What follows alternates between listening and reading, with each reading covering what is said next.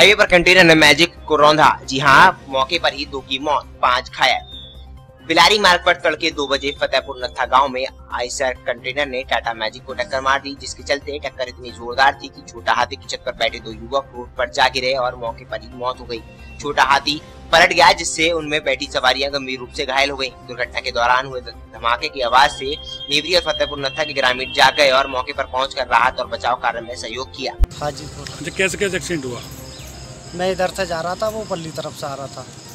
मैं उसको का कितना डिफर दे रहा था? मैंने किया हल्की कर ले अपनी गाड़ी। पर उसने हल्की नहीं करी और पे जो ने ऊपर पेल का मारी अच्छा। तो आप गाड़ी चला रहे थे?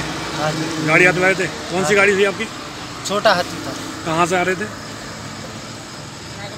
नाजलपुर से आ रहा था। क्या लगुन थी क्या था? हाँ लगन थी। कहाँ जा रहे थे? हाजीपुर।